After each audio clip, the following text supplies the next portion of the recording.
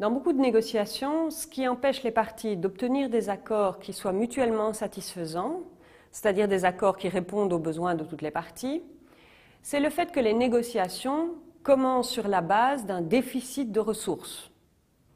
Quand les ressources manquent, que le gâteau à se partager est fixe, quelle que soit la solution envisagée, il y aura toujours à minima une des parties qui n'obtiendra pas ce qu'elle veut. Dans le pire des cas, il est également possible que ce déficit soit à ce point conséquent qu'il entraîne l'insatisfaction de toutes les parties. Pour résoudre ce problème, il existe une solution très simple. Cette solution, c'est injecter de nouvelles ressources. En injectant de nouvelles ressources, les parties accroissent leur marge de manœuvre et s'offrent la possibilité de développer des solutions qui répondent pleinement aux objectifs poursuivis par chacun. Alors, qu'est-ce que ça veut dire injecter des ressources?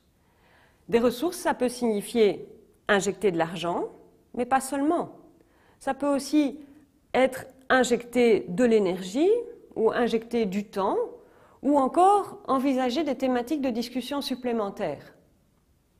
Prenons un exemple. Vous et votre conjoint, vous décidez qu'il est grand temps de déménager. Vous avez visité plusieurs maisons. Deux d'entre elles ont retenu votre attention. Cependant, alors que votre conjoint préfère la vieille maison en briques rouges avec le jardinet attenant et qui se situe en périphérie de la ville, votre choix personnel se porte en priorité sur une construction moderne au centre-ville et qui est dépourvue de jardin.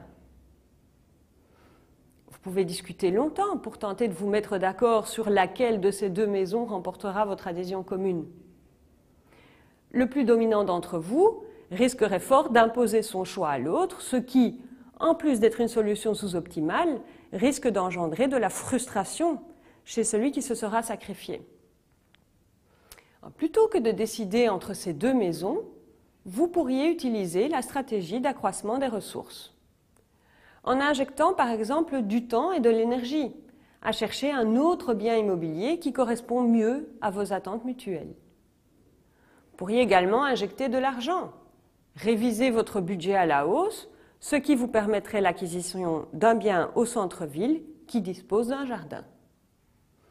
Ou vous pourriez encore accroître le gâteau en envisageant d'autres sujets de discussion, auquel cas vous opteriez par exemple pour l'achat de la maison en briques si chère aux yeux de votre conjoint, sous la condition expresse qu'il vous nomme chef des rénovations ce qui vous permettrait de remplir votre besoin de modernité.